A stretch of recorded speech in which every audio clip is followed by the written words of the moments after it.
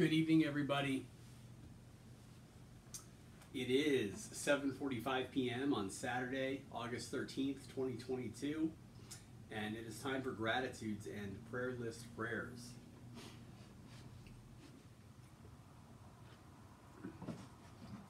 In the middle of a peanut butter and jelly sandwich, I already said grace, so.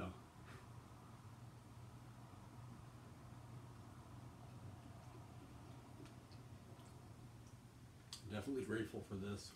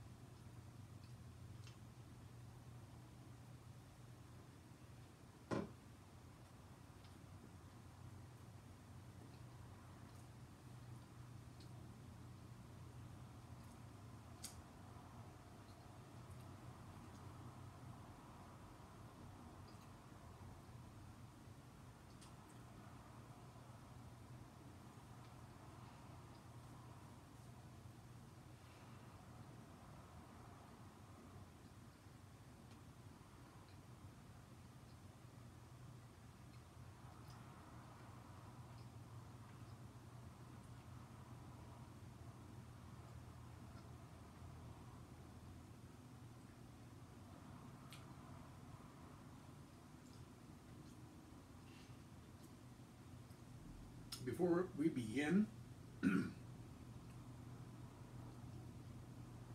want to talk about the catchphrase or slogan or whatever you want to call it that I used for the three videos today. Will be the third one will be on this video, which is drop out. And the slogan is turn on, tune in, drop out. and it goes way back to the 1960s, late 1960s. And it came from Dr. Timothy Leary, who was a psychologist at Harvard University, who began experiments with LSD and became a little bit of a guru, spiritual kind of as you know, and, and, and psychological guru. At that time, that um, led the uh, the hippie movement, the counterculture, and um, interesting thing is that you know, some people will do drugs.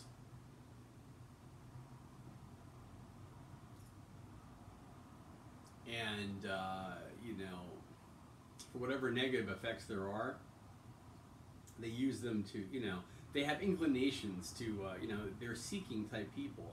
They're curious people. You know, they're pretty intelligent and uh, they engage the world around them. And so when they do drugs, that kind of factors into that, you know, and they find a way to sort of allow it to enhance, you know, what they're already trying to do. Now, let me tell you, drugs often get in the way of those things. But for somebody like Timothy Leary, you know, um, well, it's like anything in life. Everything that we grow to learn presents itself as a challenge. You know, um, whether Bach wanted to write it, you know, at a, at a excuse me. I think in the Art of Fugue, it was something like uh, how many voices in that canon? I forget. I'm gonna say like eight or something like that. Some something oh, like a lot. And that's difficult to do, obviously, you know. But like you know, um, because of the rules of motion of all those voices, especially in a canon too, a strict canon like that, you know. Wow. Um,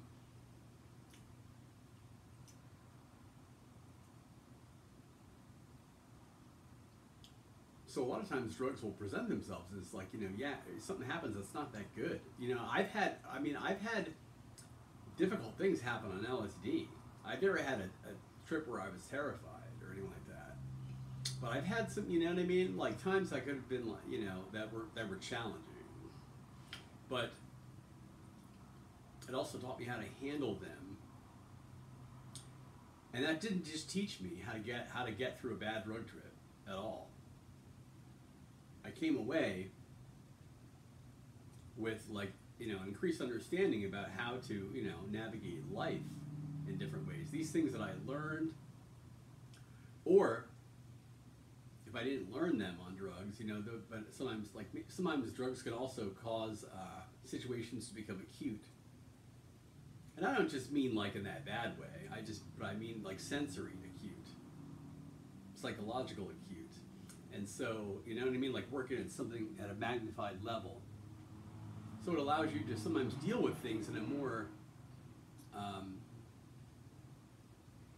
more in your face way, so you have to deal with it, than you might encounter in everyday life, but it also makes it makes it clearer in your head what's going on. Like, oh, all right. So, um, so that's what he was trying to teach. Uh, whether you agree with that or not, I don't think that it's a good idea. You know, but, but it was a different time. It, it was very different. It was like society changed, began to change radically by the end of the 1960s. It's really different.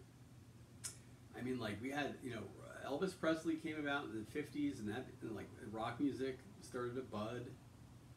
And by the time we get to the late 1960s, so much had awoken. I don't think that we'll ever have another an American side. I don't think we'll have something like that happen again because, like, once that happened, you know what I mean? Once that happened, it of course paved the way for everything that followed it. But um, you know, we almost like went from like Victorian to like hippies. You know what I mean? Like, if you want to make it like, you know what I mean? If you want to really, it was a big it was really big, you know. Um, and if you look, of course, at the time, like in the early 1970s, Richard Nixon was the president. It didn't really reflect a lot of the attitudes of the young people in the country. Um,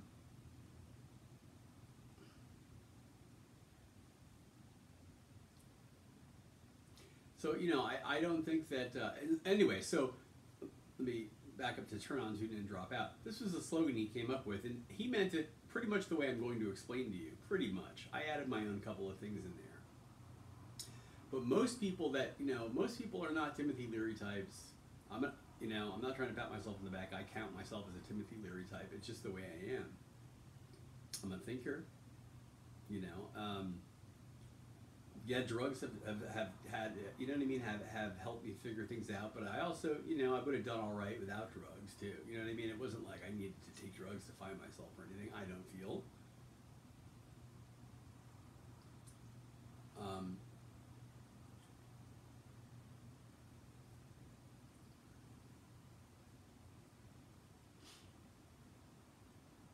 but I'll explain those to you. You know, and he and most people that take drugs though are, are not going to, uh, and it's not any fault on them at all. But some people, just, you know, most people don't respond to drugs in an intellectual type of fashion usually. Um, but I think also it can have to do with culture. I really can. I don't know. Not always. Not always. But sometimes, you know, nurture versus nature sort of thing. I mean, who knows really? I mean, who really knows? We don't know. Um, but you know, for example, there are different classes. There, there are two different big categories of tweaker that exist that I know of. Okay, and there are those that get high and have sex, and then there are those that like let's say, just to be general, get high and clean the house. And I'll tell you right now, like, very different cultures. Same drug. Same drug. Now, the tweakers that have sex are oftentimes not at all neat. Not at all. And then you have this other group that, like, you know, yeah, they, and some of them wouldn't even want to have sex. You know what I mean? It's not like they just hadn't kind of crossed their mind, but they're like, yeah, no, I'd rather do this, and it's usually some other you know activity. Now, of course, these are not two discrete groups. You know, they share. You know what I mean? There's crossover and stuff like that. I'm not, I'm not saying that there isn't. You know, there's all everything in between. It runs the gamut. You know, but um, but it's amazing. You'll find that. Uh, you know, two very different reactions to the same drug. Just making my point there with that. Um, from my own experience, honestly, it took me for quite a while to get into like that the sex scene, basically with speed when I was younger. I was not a sex tweaker at all. Um, and I found this. Let me put it this way. I want to share the story with you for an important reason. So you know, sex is good, right? People enjoy sex. We all enjoy sex. Sex, sex. sex sounds good. So I was, you know, I found myself in a scene where sex was like really everyone was having sex. Now, I didn't want to have sex with everybody.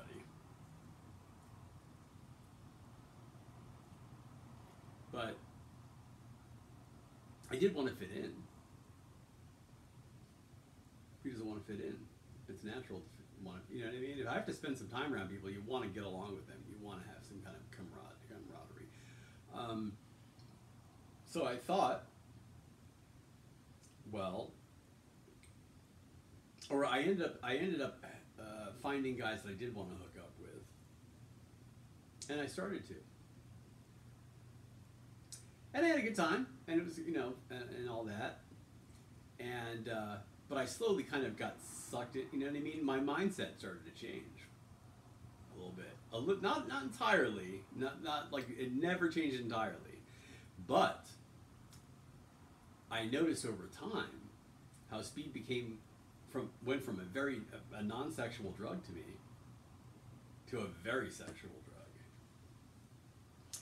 Um, and it doesn't mean now that it dominates my time, but um, it it's it can at times.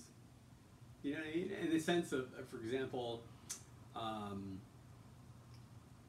you know, it is an it is an aphrodisiac, but I think again it, it has I feel like for me, there was some kind of conditioning there a little bit.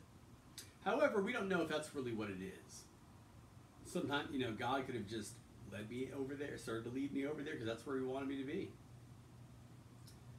Um, which is the case anyway. You know what I mean? No matter what, like that's that's what happened. But um,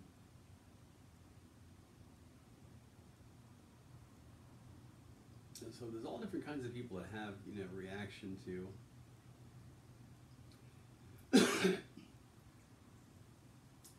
reaction to drugs. I remember when I, you know, for example, to this day, my friend Mike Foley, when I first met him, all he smoked was weed. And so Mike was the only person I know that smoked a lot of weed at the time. And Mike was the kind of a guy. I had I had all my basically I had like all my for quite a while I had all my tweaker friends and then I had like Mike. Mike was the guy didn't do speed. He had a job and had a normal life. Whereas as far as you know, as far as like I wouldn't call it normal, but like I mean, you know, lived in in the uh, in the Haight, paid rent, had a job, lived with people that didn't that only smoked weed, they didn't do other harder drugs, you know. So I mean, like kind of like in San Francisco, that's pretty, you know, pretty normal. And I, you know, one of the things that we used to, he, you know, he always wanted me to smoke weed with him or whatever when we hung out and then we would do something. Like he was always he was not like a not do something kind of like, like smoke weed and just like fucking chill. Like it was always like we're gonna smoke some weed and then we had a project to work on. We're gonna like go here, go there, and, or watch, watch some South Park, which was an active for, for someone like Mike. And like it's a, an active thing. Television's always an active thing for, for guys like me, and I think like him as well. It's like where you know you're en- you're engaging that. It's never just a passive you know? And i don't i don't think that you know some people's minds just work that way. I think that like if you wanted to become if you felt like you wanted to become more like that you're probably already on the way you know what i mean? You probably already are that type of person. So like yeah like, do things that you think would make you more like that absolutely but you probably already are because you wouldn't be thinking that otherwise you know? It's like um, so you know to this day when i think of smoking weed weed is a very act is, is a drug of like all right and one of the things that he would always do after he gets stoned we'd make a list. You know what i mean? Get a list of, of things going. And it's like to this day um, i kind of still have you know i was already like that anyway. You know what i mean? So but so but that kind of like he helped form my, form my attitude about drug use on marijuana. You know? Um, and that's true for anyone really that begins to do drugs, is whoever they're around for a while is going to kind of kind of shape that drug for that person. So, anyway, turn on, tune in, drop out. Did not mean drop out of school, drop out of it, you know, stop participating in your life. But a lot of younger people on drugs are probably going to do that because drugs, you know,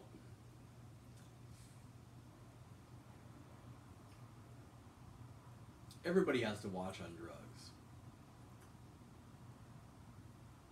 Um, and some people just can't steer it in the right way. So anyway, let me just read. Turn on. Begin to seek awareness of self, other people, and the world around you, and to be in harmony with creation. You know? I don't know how to describe this other than like, like God. If you don't believe in God, whatever, it's fine. But like I'm gonna say God because that's what I see. God, you know, just gives you some awareness, like where you just become suddenly. We've all had it happen, whether it be something, you know, it can be something small, like where you all of a sudden you just notice it's there. Like maybe you buy a car, you know, of a certain color or whatever, a certain type, and then all of a sudden you start noticing them everywhere, right? It's that kind of a thing. It's that it's that sort of a, like oh boom, you get this awareness. I, I'm not sure you can make you know. Again, I think if you want to, you you know you're already there, so that's good. I mean, um, get this awareness of wanting to just be purposeful about yourself. Learn who you are. Why do you do the things you do? Why do you think you know? Figure yourself out, or at least be trying. Um, tune in. Well, that's where we actually do the figuring out, listening. Okay, so tune in is listen, observe, analyze. Listen, observe, analyze. So to figure this stuff out, my, my friend Bob, my old best friend Bob, one of the, you know, he had a lot of sayings, but one of my favorites is you never learn anything talking. You never learn anything talking. And it's true. You know. Of course, gonna be a smart ass and be like Socratic method. You know what I mean? of course, asking questions, but, you know, let's keep it black and white here. And just like, you know, right. If you're in a classroom, you know, and you're like, instead of listening to what's being told, you're not picking up information. And this is all about, you know, and you also learn about yourself too. You know, this is why a lot of people talk, honestly, and listen to music in the car. I don't usually, you know, believe it or not, I'm not a big music in the car person. I'm a musician, and I'm not a big music in the car person. I will, because I listen to music really purposefully. I, it's never, it's never, it's never, it's not background music. It has nothing to do with because it's so important to me. It's because it, it's noisy to me if I'm not listening to it. That's why. I don't want it there because it's distract. You know, like I, I when I fall asleep to the TV, sometimes it wakes me up, and it's like, oh, I gotta, you know, I, I can't, you know, I don't like noise like that around, like constant. I can get used to it, but if I can have silence, I love it. You know, I don't try to bank on silence too much uh, because, you know, people can easily just take it away from you. You know what I mean? And it's something that like that's why I don't make it too important because I mean like it's it's too easy for people to fuck with. One of the things I will do, honestly, you know, more more important than silence is control of uh, maybe the types of ambient noise that you have. For example, like I have a noisemaker, and I use it all the time.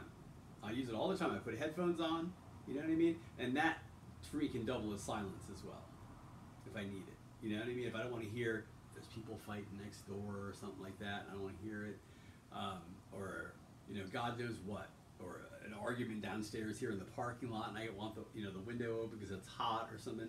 I'll put my headphones on and listen to brown noise. Brown noise is like this. It's one of the most soothing sounds in the world. Hold on.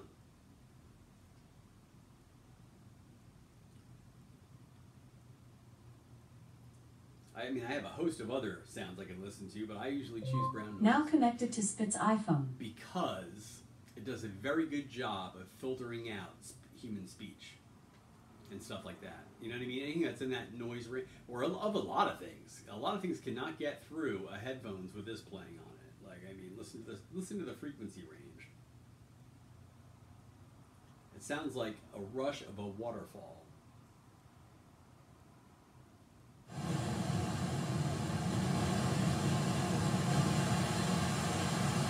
You're near like the you know the falls or something like that, or the beach with a bunch of waves coming out from the lock. What you know?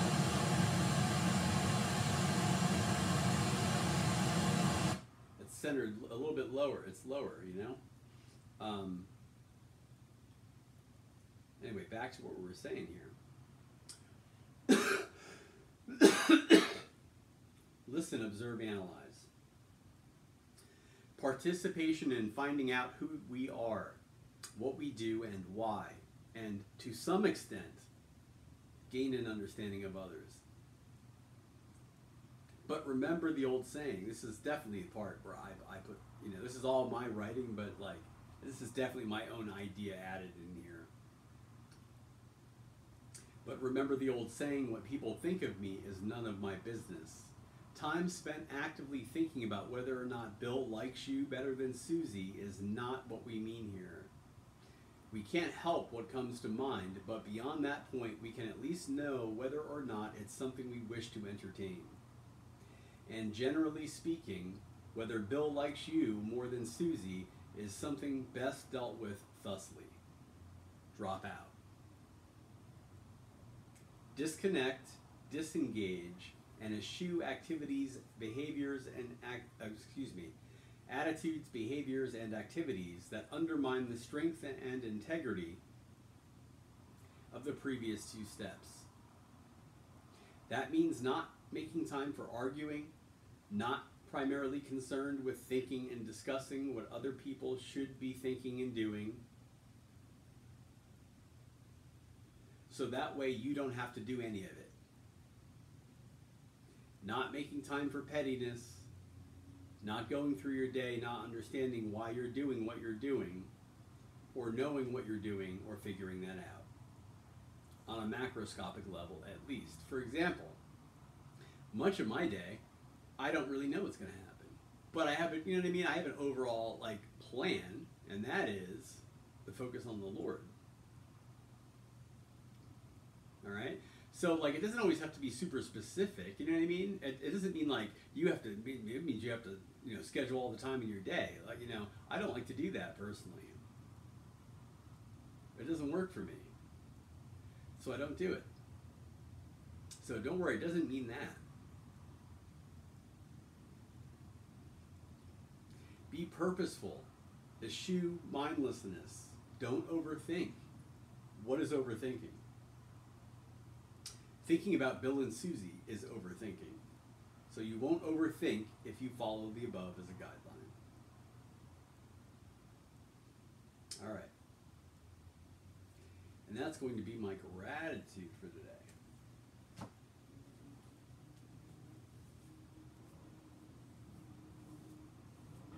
In the name of the Father, and of the Son, and of the Holy Spirit. Amen.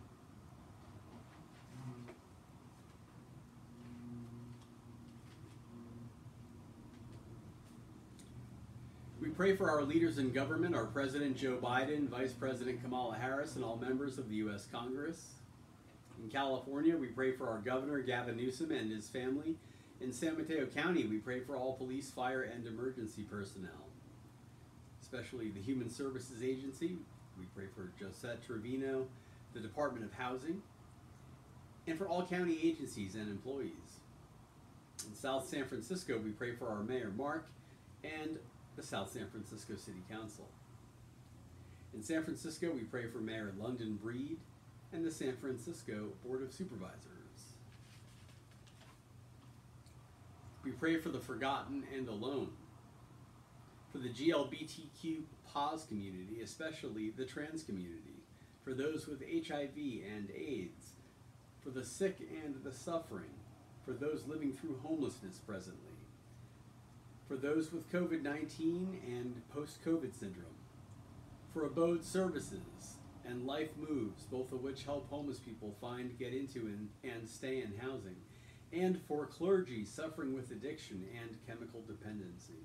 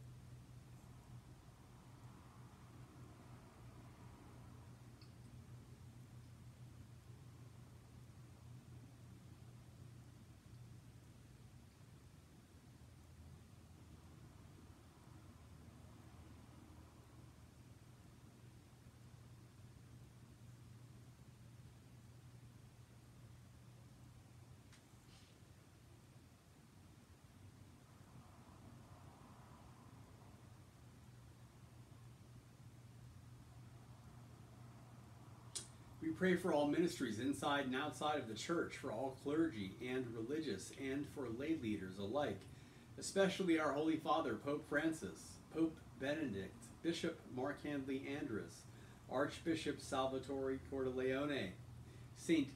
Gregory's Abbey, Three Rivers, Michigan, Hospitality House in San Bruno, Sea Episcopal Church in South San Francisco and San Bruno, the Diocese of California, the Archdiocese of San Francisco,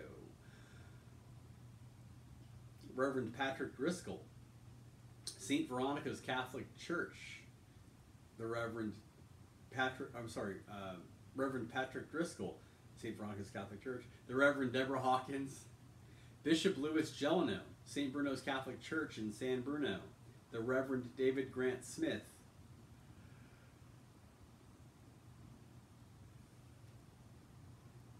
and Emmanuel Church in Newport, Rhode Island.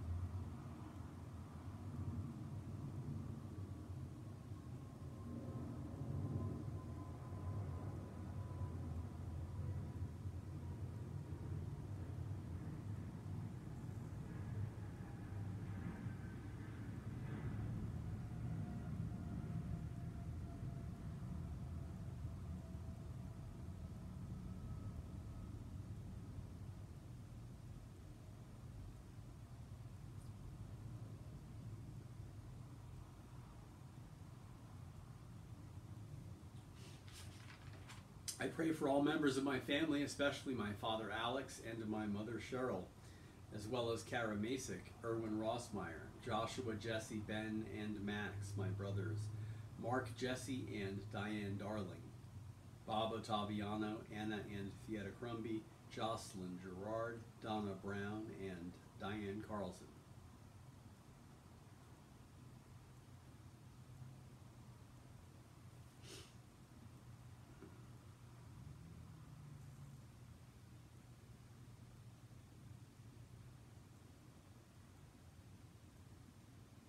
We pray for the perpetrators of abuse.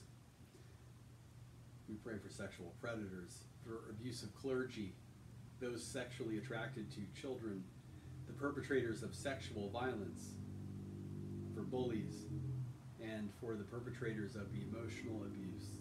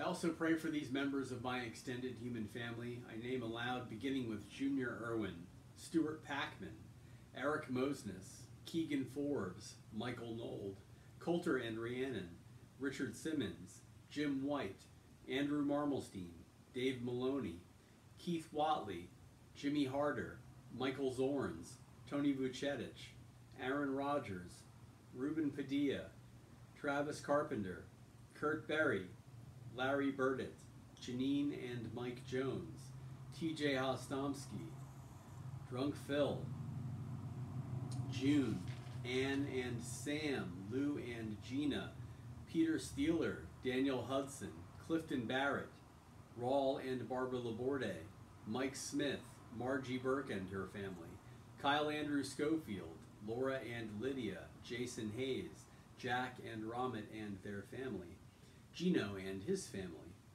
Charles Ratcliffe, Chris Reinhardt, Dustin Keast, Matthew Russian, Tyler Davis, Daniel Fonseca, Michael and Corey, Ryan, Dean Varchetto, Pat Ford, Tina, Keith, Alexander, Matthew Mustashkin, Kevin Johansson, the Republicano family, Tyler Jordan Lowe, Tyler Smith,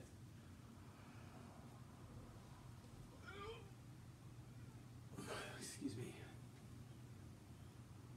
Marty and Kim Plyler and their family, Anita, David, Michael and his mother, Al, Cheeseburger, Kenny, Kendrick, Dylan, Charlene Myers, Jeffrey Marmelstein, Steve Buiza, the Pacific Family Medicine Clinic staff, Beth Lewis, Ken McCune, Bob and Alice Katz, Jen and Jesse, Steve Menini, Larry Lawton, Gabby Giffords, Jeff Henkel, Mark Zuckerberg and his family, John, Bill O'Reilly, Christopher Henning, Scott Akers, Debbie, George Jetson, Lil Kim, Gustavo Caldas, John Shuck, Greg Flowers, Rick Rivero, Andy Han, Stephen and Bernadette Connolly, the people of Ukraine, Skeeter, Russell, Vladimir Putin, Xander Wilkinson, Tom, Carl Perino, Steve Wilkinson, Rich and Sue Wilkinson, Angel Hernandez, Clinton Russell, Olson Dental, Brian Wilson, Garrett Canterbury, and Jean Kwan.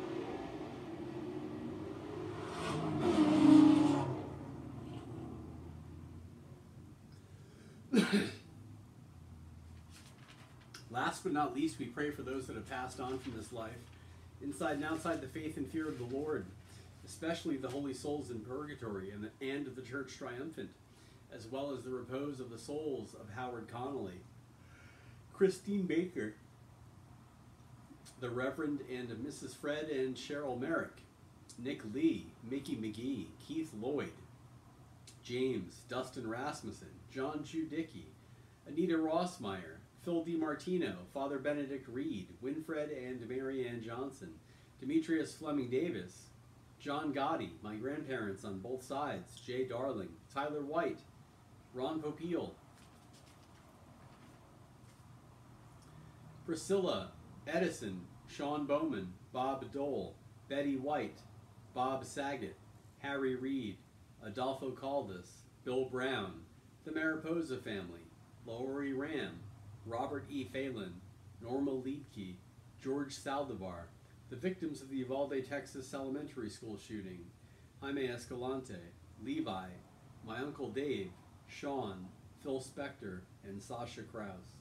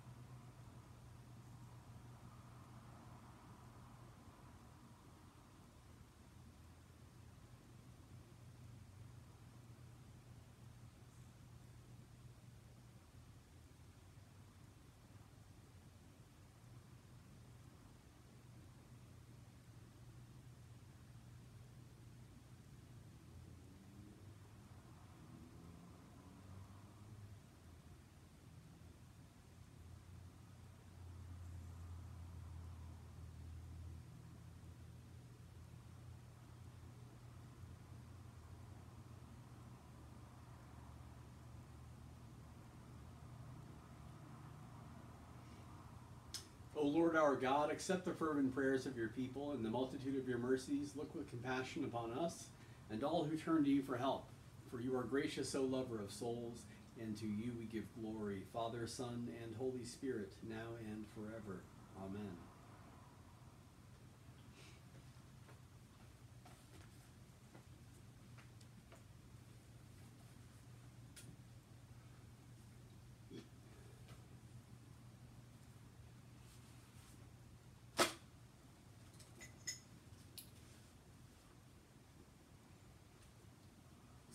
It's book.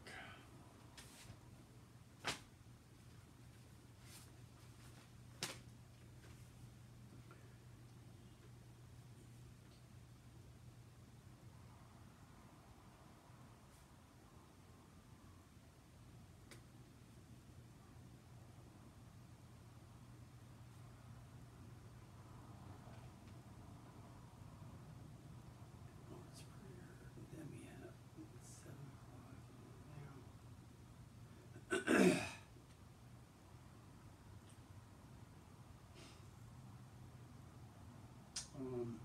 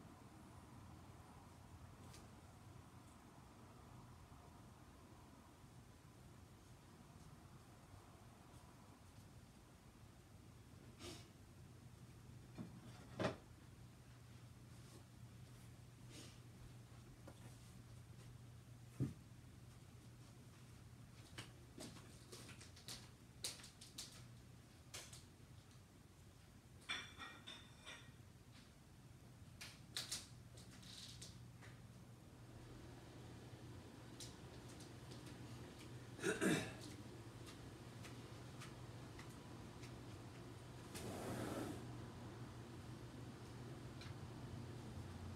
right, let's go and do oral hygiene.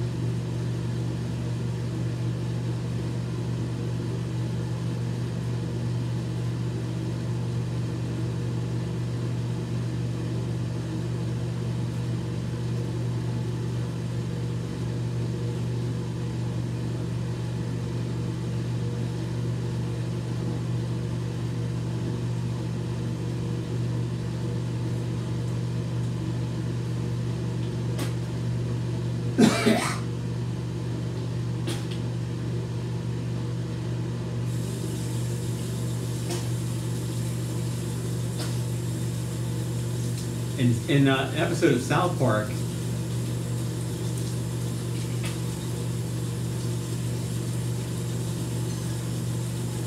They use the duck and cover uh, slogan for an earthquake or for, for a volcano in the town. And uh, there's this scene where like these guys are like, "Oh, quick! The lava's coming! Quick, duck and cover!" And the lava just went over, and killed them. You know what I mean? Like it's like it would do with the bomb, I guess, the atomic bomb, but kind of funny. There's, I think there's there was one civil defense film where they this guy was like sh- shielding himself with a news. You're supposed to like shield yourself with a news anything you have, you know, to shield the skin. Because depending on how far away you are, um, it, you know, and how strong, you know, how, how far you are, you are from the bomb and how strong it is. And of course, like some people just make it flash burns or whatever. Um, so you know, so they just tell you to duck and cover. Um, all right.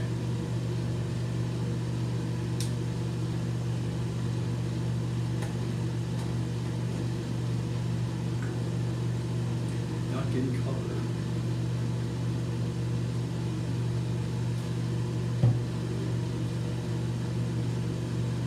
Which is different from the homeless slogan, which is cold duck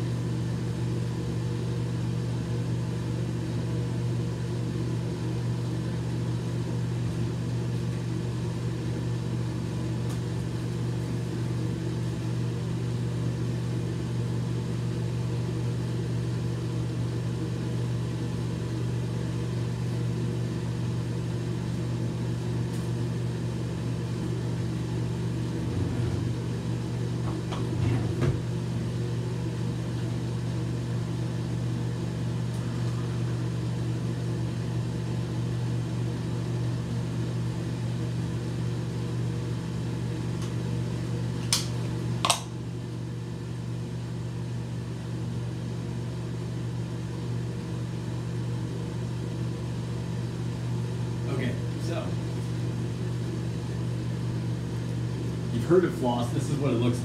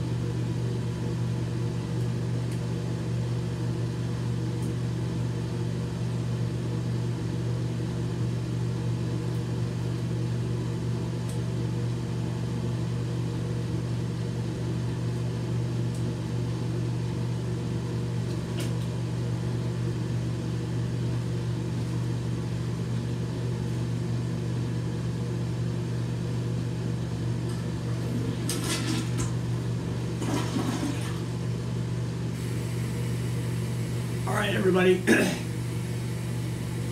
Remember to brush your teeth.